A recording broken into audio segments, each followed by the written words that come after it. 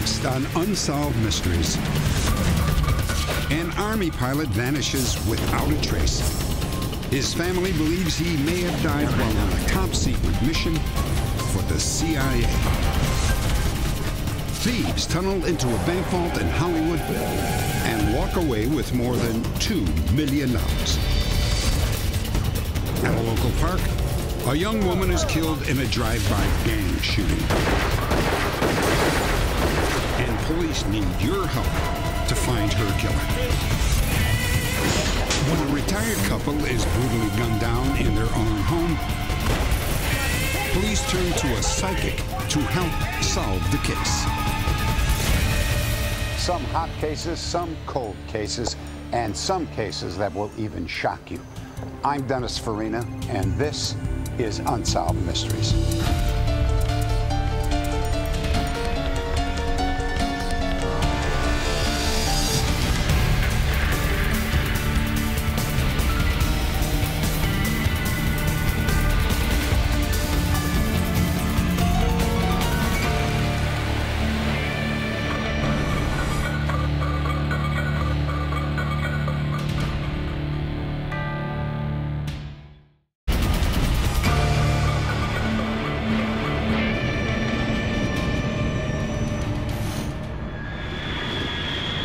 Valley, California. August 17th, 1958. 42 miles from the nearest town, a fish and game warden finds a car abandoned in the desert. The keys are still in the ignition. There is no sign of foul play. The car is registered to Lieutenant Paul Whipkey of Fort Ord, California, almost 500 miles away. The Army reports that Whipkey has been missing for five weeks, and in fact, he's wanted as a deserter. But there's a problem. By all accounts, Paul Whipkey is the perfect soldier. No one who knows him believes that he could be a deserter. I don't think Paul deserted. It was completely out of character for Paul to do such a thing. He was a loyal American soldier devoted to his work. I think the Army knew exactly what happened to him. I think it was part of a big smokescreen cover up. Paul Whipkey was an ROTC honor graduate. After basic training, he won a spot in the Army Aviation School. In 1957, at Camp Desert Rock in Nevada, Paul flew an observation plane during the testing of the atomic bomb. He was exposed to radioactive fallout, and it wasn't long before unusual blotches appeared on his skin. Several months later, Paul, now stationed at Fort Ord, California, had to have all of his teeth removed. July 10th, 1958. Late in the afternoon, Paul left Fort Ord. He told friends that he was headed for the town of Monterey, less than a mile away. Paul never returned. The next morning, he was reported AWOL. 30 days later, he was declared a deserter. The following week, his car was discovered in Death Valley. The Army says that on the day Paul left, he apparently ended up at White's Motel in Mojave, California, some 350 miles from the base. Paul had signed the motel's guest register. Army investigators say they found a gasoline receipt in Paul's car. It showed that he had bought gas in Mojave. Paul's car then ended up in Death Valley, 145 miles away.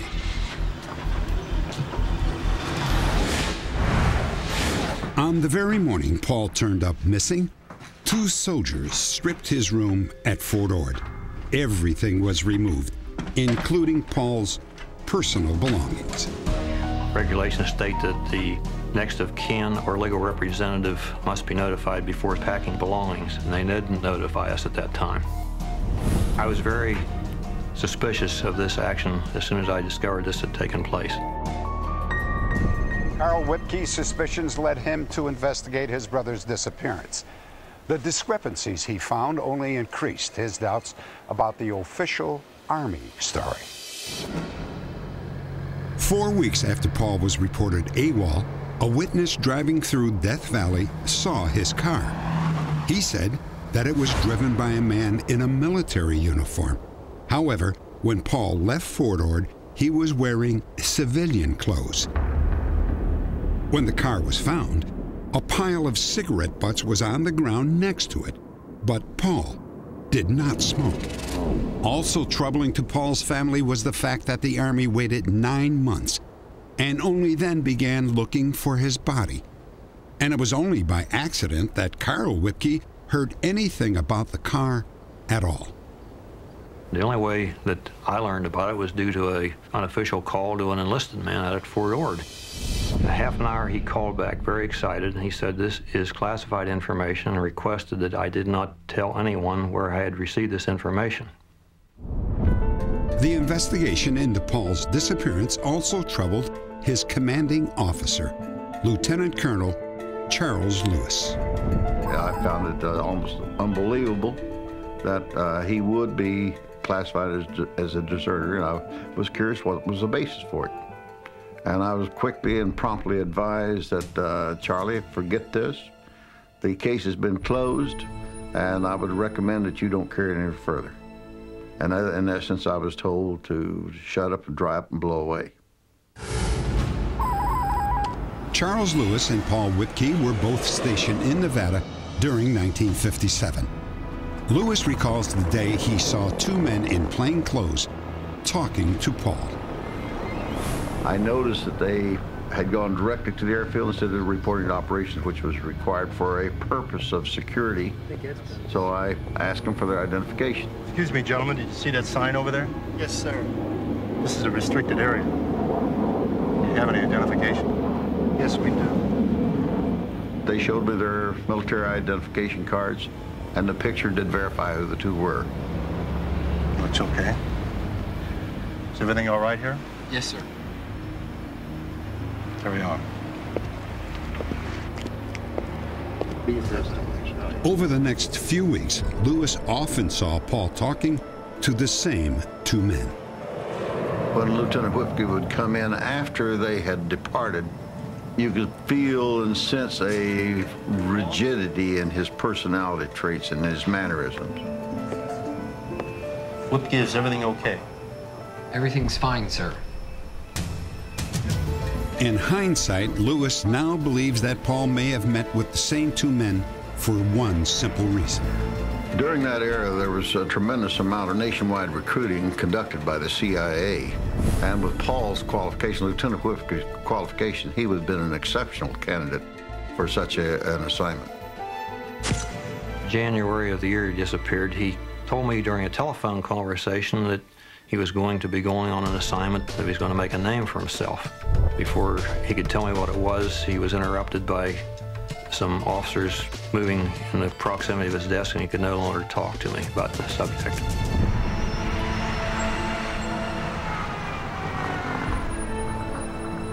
I theorize that Paul was recruited into an Army CIA joint program that was going on at that time. I'm going into town. When Paul left Fort Ord, he drove to the town of Mojave, California, and checked into White's Motel. It's a possibility that he was met there by Army intelligence agents or the CIA and transported to Southeast Asia, possibly from Edwards Air Force Base, which is nearby. Lieutenant. Morning, Mr. Johnson. Carl now believes that his brother was assigned to a secret mission and left his car with the Army. He thinks they kept it four weeks before driving it into the desert. I think the Army took his car out to the desert to get rid of it. Out of sight, out of mind. If they would just say, yes, he died on a secret assignment, we'd live with that. We're, all loyal American citizens in our family, and we would buy that. Till the Army tell us what happened, there will be no peace in our family. In 1982, the Army reviewed Paul Whipkey's case and found no basis to support his status as a deserter. Two months later, his final status was officially changed from deserter to died in the line of duty. His brother Carl hopes that someone watching might be able to shed some light on Paul's mysterious disappearance. If you have any information, please log on to our website at unsolved.com.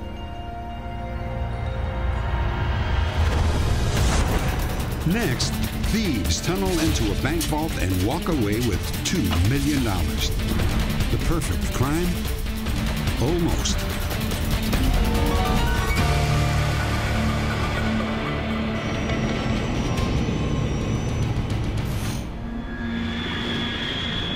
Hollywood, California.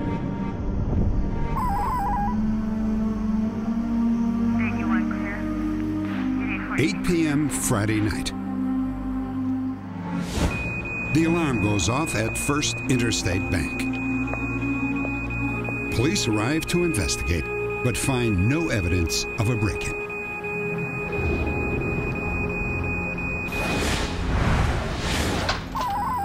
Hi, Joe. Monday morning, bank employees arrive for work. It's business as usual until they open the vault. $2 million in cash, jewelry, and rare coins is gone. Safety deposit boxes opened like tin cans. A gaping hole in the floor leads to a tunnel that runs more than 30 yards to a storm drain. These guys were not your run of the mill bank burglars. They were master criminals. My initial feelings that morning when we first arrived at the scene was one of, uh, of awe. I realized the fact that these suspects were excellent burglars. Uh, they would be extremely difficult to catch. Uh, they'd gone to a lot of work, and it was awesome. We view this burglary in the city as, as the crime of the century as far as burglaries go. Uh, the, the, method of attack and the, the fact they got $2 million plus, uh, their ingenuity. I had never seen a burglary like this in 27 years. Let's work this one about 100 yards up. The burglars used the storm drain running under LA city streets to access the bank. From the drain, they tunneled 95 feet to the vault. A remarkable feat of precision engineering. The experts tell us that the type of tunnels they dug were very safe tunnels. The size of the tunnels, the shapes of the tunnels were extremely expertly done, and the contour of the tunnels were done as such to add extra strength and protection to those digging. any dirt yet. Police searched storm drains within a three-mile radius of the bank looking for any signs of the burglars. When we concluded our investigation at First Interstate Bank, basically we were left with no clues at all. There was no physical evidence left. The suspects left us nothing to work with. And we were basically handcuffed. It appeared to be the perfect crime. And then, 14 months later, the tunneling bandits struck again. This time, they weren't so perfect. Saturday morning, another alarm goes off a Bank of America in West Los Angeles. When police arrive, a bank manager opens the vault. A gaping 18-inch hole perforates the steel-reinforced concrete floor. The burglars have long since disappeared.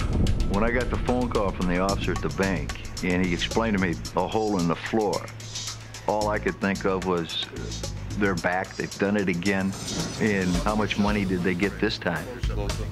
The thieves only got away with $90,000.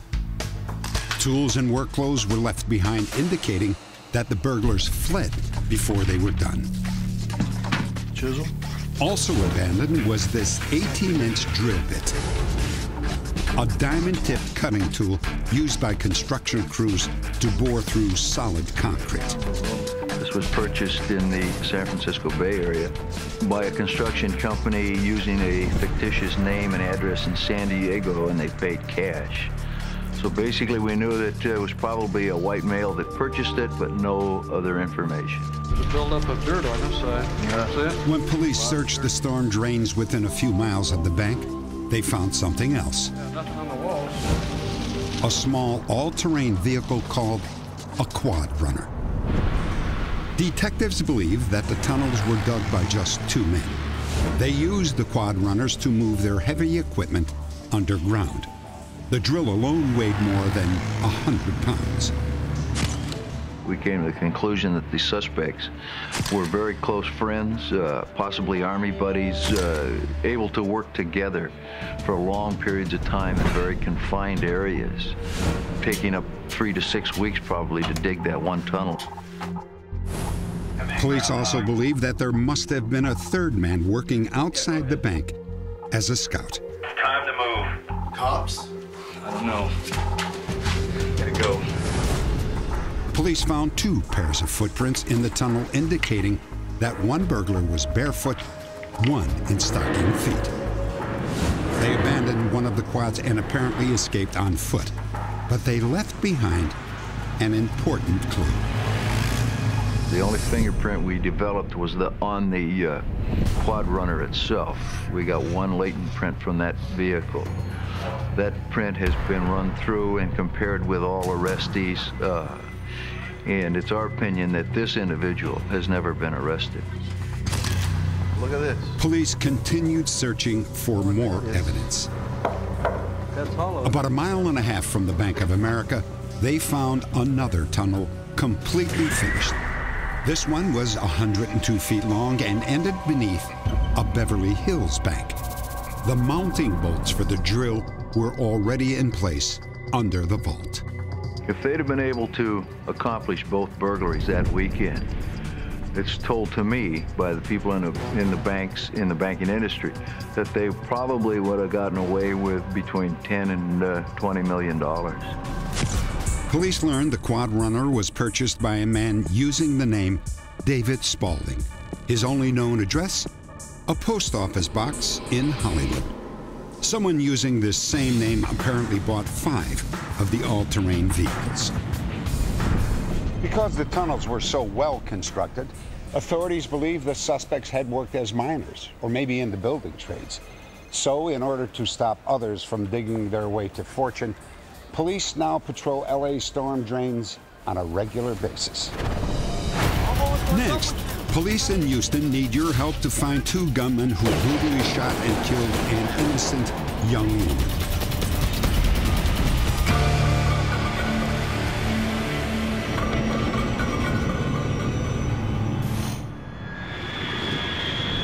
Houston, Texas.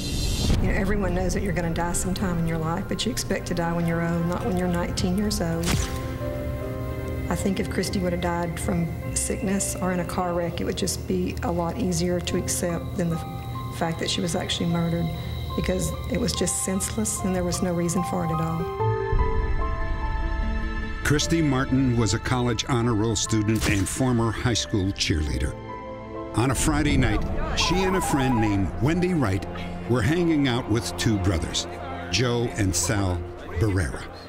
Good question. I got you a good present there. They all knew each other from high school, and winter break from college was the perfect time to reconnect. Just 15 miles, but worlds away, members of a Houston street gang were cranking up their Friday night. Flaco, what's up, Holmes? What's up, Flaco? Come on over here, man.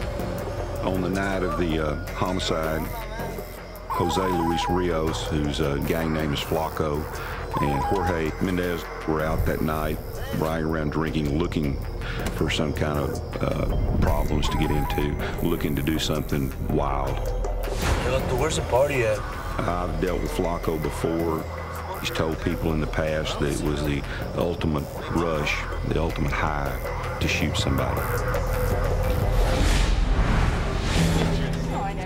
Christy and her friends finished dinner and then drove to River Terrace Park, a popular hangout.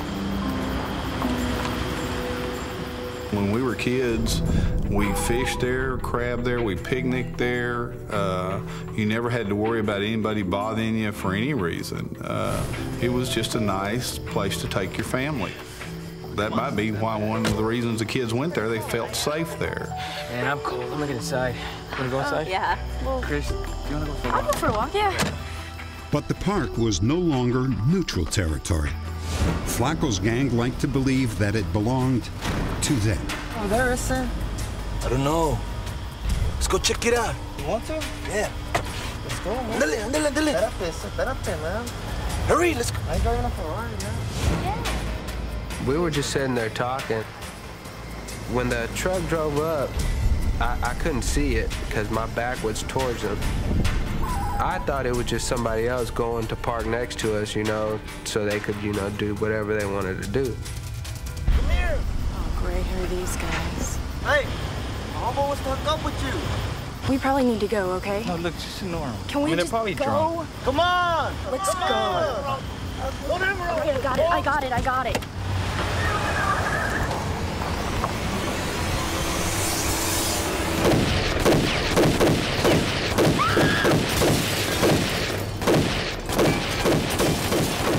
I crawled as fast as I could to the front of my car.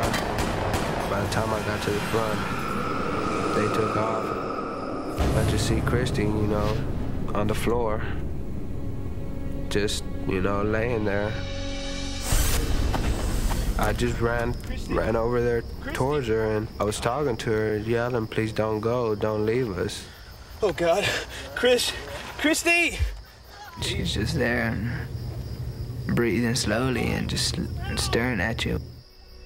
You knew she was already gonna die. I mean, she had the glare in her eye, like she was trying to look at you, but looking past you, you know? Wendy Wright and the Barrera brothers escaped without serious injury. But Christy Martin took a direct hit from the assault rifle and died at the scene.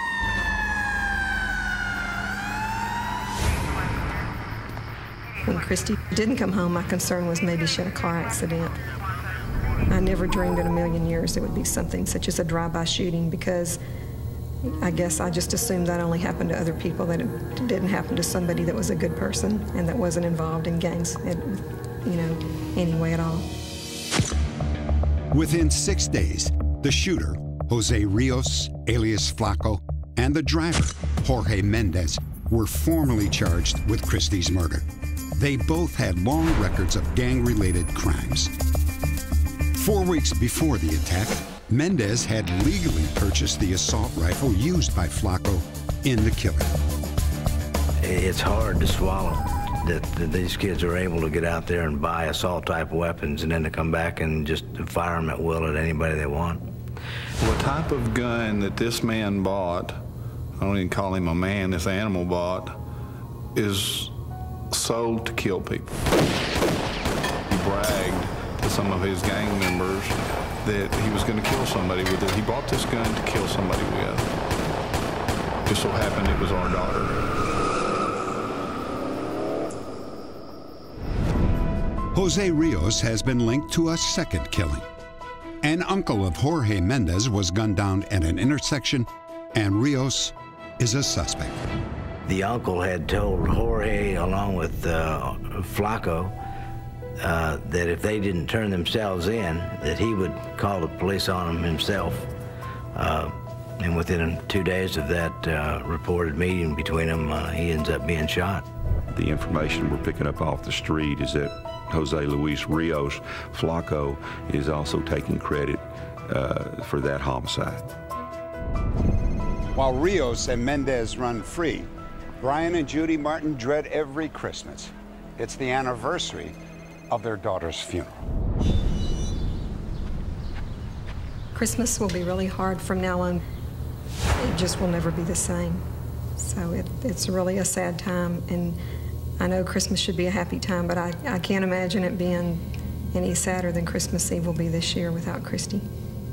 Losing your mother or a brother, I mean, that's rough. I've lost them both. My dad, both my parents have died, my brother has died. All I have left is my family, my immediate family. And uh, when you lose a child, it takes a big hunk out of your heart. Update Jorge Mendez fled to Mexico, where he was arrested on unrelated charges some five years later. American authorities have requested that he be brought back to stand trial for the murder of Christy Martin. Jose Rios remains at large. Rios is 5 feet 7 and weighs 140 pounds. He has numerous tattoos, including a skull and dagger on his right forearm, two teardrops below his left eye, and on his neck, the cartoon character Casper, the friendly ghost.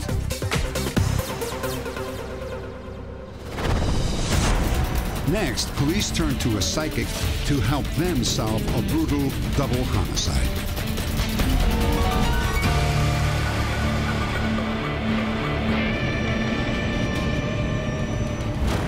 Really where it is, I happen to be putting my leg out.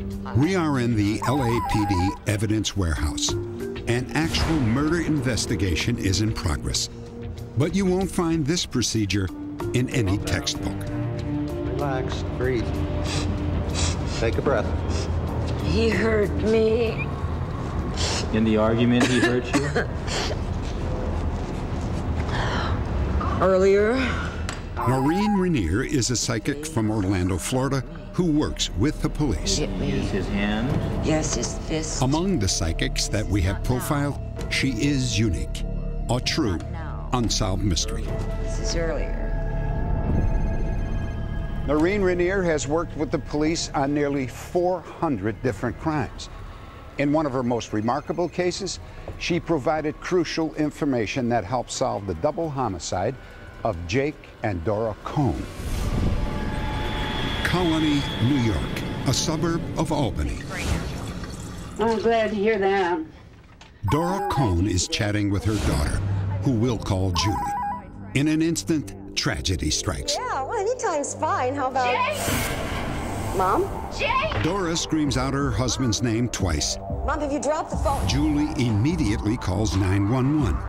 And then Julie calls her son, James Mariani, and rushes to meet him at her parents' home. Mom, They're not telling anything and they're not letting me in. Mom! Ma'am, I'm sorry. What's going on in there? I'm What's sorry. What's going on? Ma'am, My you parents are in there. Ma'am, listen Something's to me. wrong. Listen to me. I hate to tell you this, but they've been killed. I'm sorry. I'm very sorry. The elderly female was lying on the floor with the phone still in her hand. It appeared that she had fallen over while on the telephone.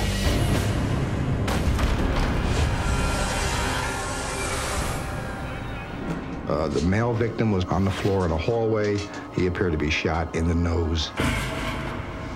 The only evidence that we found was the entranceway door had been kicked in. Part of the, the door stopper was laying on the kitchen floor, and there was two empty shells uh, also laying on the floor. When James Mariani knew at a glance that the shells were 25 caliber, he instantly became a suspect in his grandparents' murder. The police asked him to take a lie detector test, even though they knew that he had been at his house when the murders occurred. Did you shoot Jake and Dora? No. The results were inconclusive, but police remained suspicious. Mariani had a criminal record and he had friends with criminal records. Friends, Larry. Police interviewed two men that Mariani had done jail time with Keith Snare and Robert Skinner. Both had alibis. This is my girlfriend. What's what's her name? Sandy.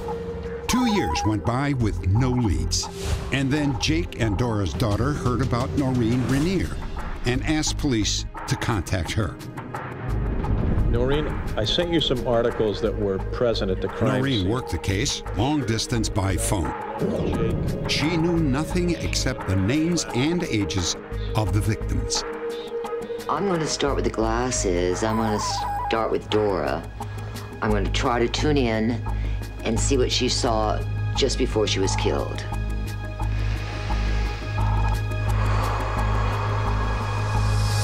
The Jeep doesn't have to bowl that night. We'd love to come. When she was Dora, uh, she described how she was on the telephone with a female. Uh, she hears a crashing sound. Beautiful recipe for that. Oh, Jake! Jake!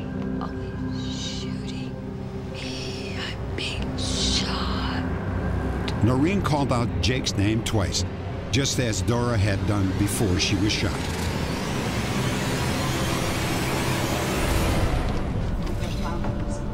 Now, as she's Jake, she describes how she gets up off the couch. Jake! goes down a narrow hallway, and she's confronted with someone with a gun. I know you. What the hell are you doing here? Noreen remembers that she felt pain in the center of her face, exactly where Jake had been shot. I'm shot in my She had given a pretty accurate description of both Jake and Dora and a fairly accurate description of the crime scene. Uh, this made me take notice and, and, and feel that she was credible in what she was doing. I'm going to count from five to zero. As I count, your eyes will become heavier and heavier. And The police started to feel that Noreen might be able to help them crack the case. They asked her to work with a hypnotist. One and zero. Now going back. Dora, tell me about the intruder. We knew him. He was a younger man, What are you doing? brown hair, Say a word. and he came to our house for dinner. He did some work for my husband. I know you. What are you doing in here? I'm not playing, old man. Where's the money? What do you want? Where's the money? What are you talking about? Where is the money? Where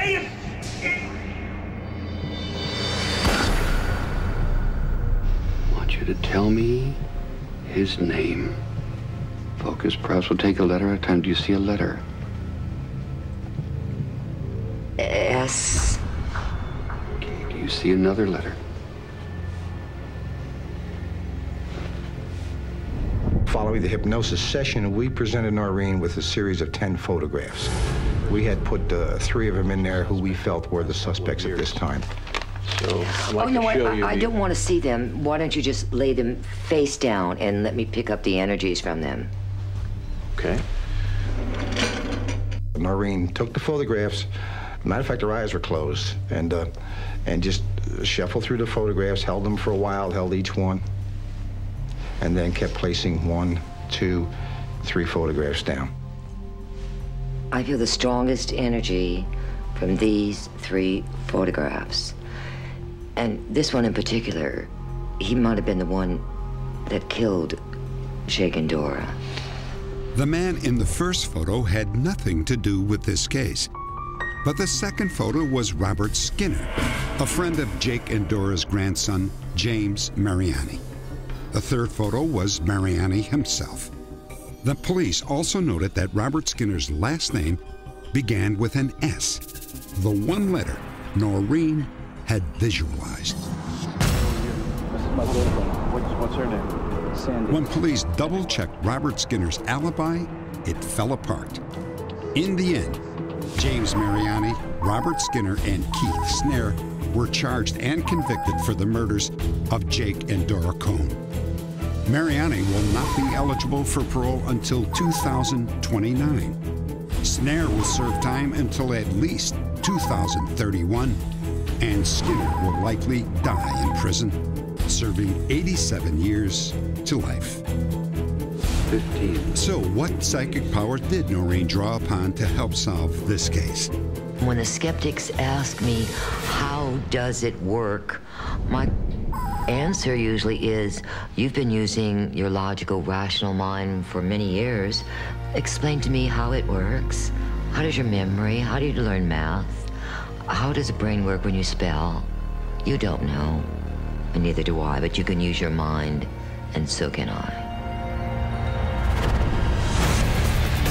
Next, a man needs your help to find the truth about his father's mysterious past.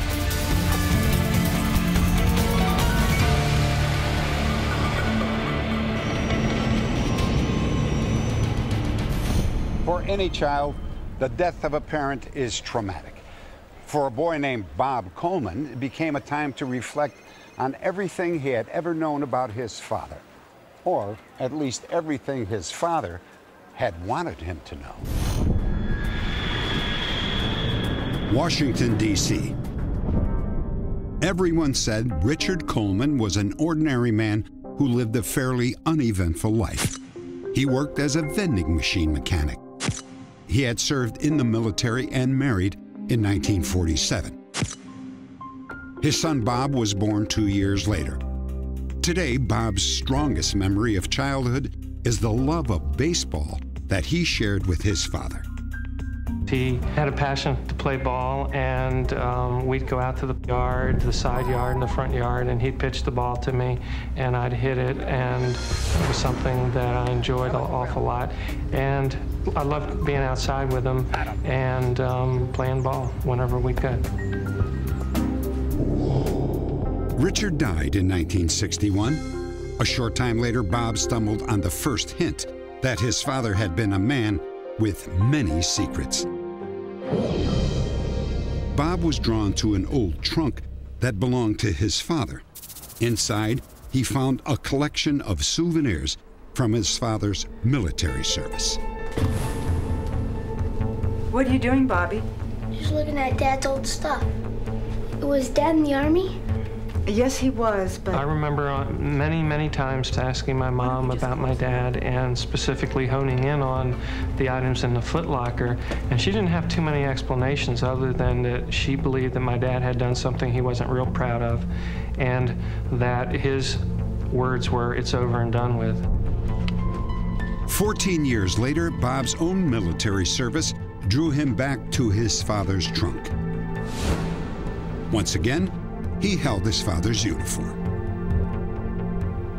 It had the uh, silver bars of a first lieutenant still on it. It had the uh, insignia, interestingly enough, of uh, medical corps, a plain caduceus, which would indicate that the person who wore that uniform was a uh, medical doctor in the Army. Was it possible that Richard Coleman, the vending machine mechanic, had been a doctor in the Army? For Bob, it was a possibility that triggered a vivid childhood memory. Ow! Oh! Oh my God! I'm bleeding, Richard! Richard! Oh! My mom had cut her hand up very, very badly, and there was a lot of blood. She was bleeding profusely. Bobby, Sharon, come in here, please. And I remember my dad taking control of the situation, sizing up the um, the emergency. Everything will be okay. Don't worry. He applied the pressure to the to the cut, and actually knew about pressure points and and did something that I don't remember because I was small, but he did something that he actually was able to stop the bleeding pretty quickly. And he took control of the situation in a way that would lead me to believe that he knew more about um, the medical field than somebody who was not trained. Attaboy. See, everything is fine. Why would Richard Coleman abandon his career in medicine? For Bob, it meant that his father was not the man that he thought he knew. His father's trunk provided Bob with other clues that raised even more questions. Although his father's uniform was from World War II, Bob found several medals from World War I. Discharge papers from World War I raise still more questions. It was a World War I certificate. And as I looked at it, I remember uh, noticing that items had been written over. Someone had gone back after it was issued and put my father's name, Richard Coleman, and, and a service number and other information were written over the original inscriptions. It appeared that the document had been forged. When Bob checked with the VA, his suspicions were confirmed. The discharge papers had been issued to another soldier. Finally, Bob found no record of a Richard Coleman ever serving in the Army Medical Corps in either World War.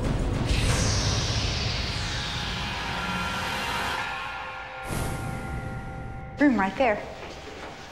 These strange revelations about his father brought back another painful memory. Has anybody came and visit you? No, you're the first one. What about your brothers and sisters and your family? Shh. We're Daddy's family, honey. We sure are. I remember asking several times, well, my dad's sick. He's probably going to pass away. Where's his family? And why hasn't anyone appeared to see how he is or, you know, to visit him? What a beautiful dress you have. And my mom really wouldn't answer it. She didn't have an answer, I guess. And I never, I never got any uh, satisfactory explanation for that. The trunk held one final clue the membership roster from a New York City gun club. Richard Coleman was listed as a member in 1944. When Bob researched his father's address, he uncovered another surprising detail.